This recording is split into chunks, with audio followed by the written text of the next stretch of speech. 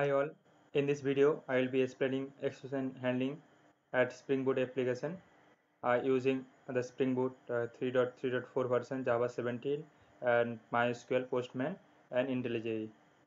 So in this video I will be creating a demo project uh, and I will hit the API explaining the below concept. I will explain you why uh, exception handling is required and also I will create a, a sample project then we will cover the at the rate exception handler annotation and at the rate controller annotation. So let's get started. So before uh, creating a dummy before creating a dummy project let's uh, understand why exception handling is required.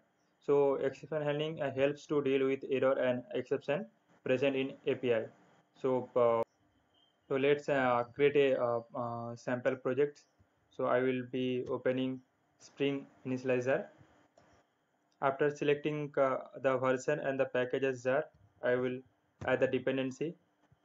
So we need spring web dependency to make RESTful services. And we need spring JPA for the database. And we need MySQL connector. And also we need Lombok for I have added all the dependency and I will generate this project in the zip file and I will extract and will open on the IntelliJ. I have uh, added the exception project sample project and I will click on this pom.xml and I will add as an maven dependency. So let's uh, it uh, import all the dependency main class and we see that exception application has been created. I will create some of the packages I created the packages like model and we will be using uh, the customer entity. I have created package repository service exception. So I will create a customer model class. I have created the customer model class with field as id name and address. As it is entity class i have annotated with entity annotation. Next i will create a, a repository class. So i have created a customer repository class and extended the jpa repository with uh, customer as an entity and uh, the id create a service class and i will implement fields like add customer update customer and get customer. So i have uh, created the customer service interface. The get customer add customer and update customer. I will create implementation class and i will implement those methods. So i have written a customer service implementation class with uh, service annotation and i have implemented those. Uh, so before writing the implementation i will be uh, creating a exception class. I have created a two class called customer already exist exception which extending the runtime ex exception class and no such customer exist class. I have wrote the implementation logic. Let me explain you that logic. The get customer it will be we will using find by id to get the customer from customer repository and if uh, no customer exists then uh, we'll throwing a exception called no such element found exception with with a message. And the add customer will first check by id and if it is exist then we'll throw the exception called customer already exists exception. And if if the customer is not present then we'll add a new records Similarly, with update customer, if uh, no customer exists, then we will return or no such customer exists exception. Else, we will update the record with uh, record updated successfully method.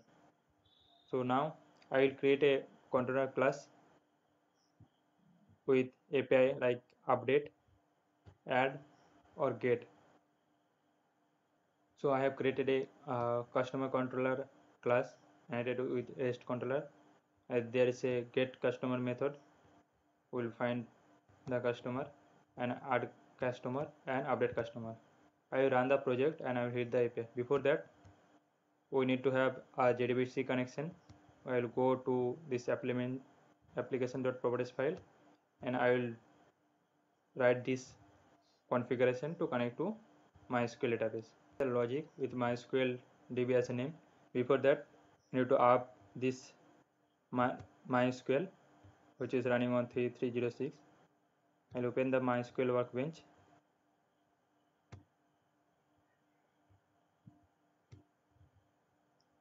Yeah, MySQL DB I have created. I will run the application. I will go to exception.application class and I will click on this run. Yeah, the application is started at 880. Then I will go to Postman and I will hit the first API.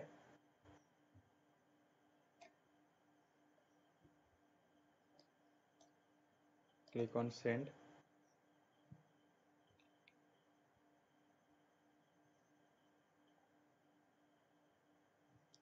Then as you see that the error is coming as with id 3 no customer present so by default spring boot exception. So while it is mentioned that no customer present with id 3 so now i will explaining you the concept of using exception handler and controller advice annotation so I have uh, created an uh, uh, error response class mentioning the status code and the message. I have used the address exception handler on any method. I created a method like handle customer already exit exception and I have passed the conflict as an HTTP status and the message. So whenever the customer already exist exception occur then this specific function will execute. Similarly, I will create an controller advice class for the global level exception handler. So I have created an class called global exception handler with controller advice annotation.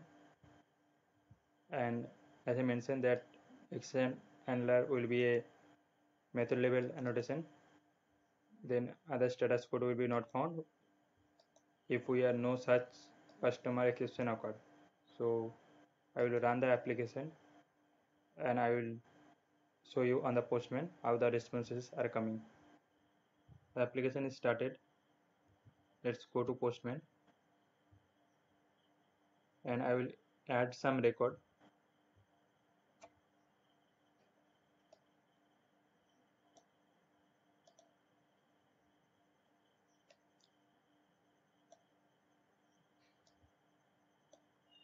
let add the first record which is one already present. Then if we try to add then it will be showing a status code as 409 which is conflict and a custom message as customer already exists. And when we want to add a new record then it will be given 200 error response. And if we want to update the customer let's we are updating the second customer which is present. Then it will be response will uh, report updated successfully. If you want to update the customer which id 3 which is not present